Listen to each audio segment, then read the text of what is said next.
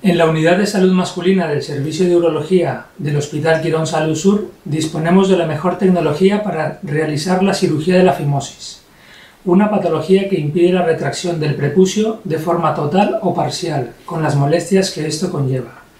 El dispositivo Circurer consta de una campana donde se introduce el glande para protegerlo durante la intervención y por encima de esta es donde quedará el prepucio sobrante.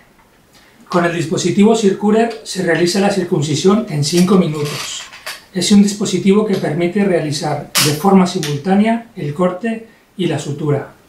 La sutura se realiza con grapas metálicas de pequeño tamaño, que se caen solas en el plazo de 2 a 3 semanas, obteniendo unos resultados estéticos muy favorables, con una cicatriz prácticamente imperceptible. Los cuidados posoperatorios son muy básicos, con la ducha diaria y poniendo betadina en la herida es suficiente. Además, la inflamación y el dolor en el posoperatorio es menor en comparación con la técnica clásica. También el tiempo de recuperación en los pacientes que se realizan la circuncisión con el dispositivo Circurer es menor, por lo que la vuelta a las actividades normales se realiza de forma más rápida.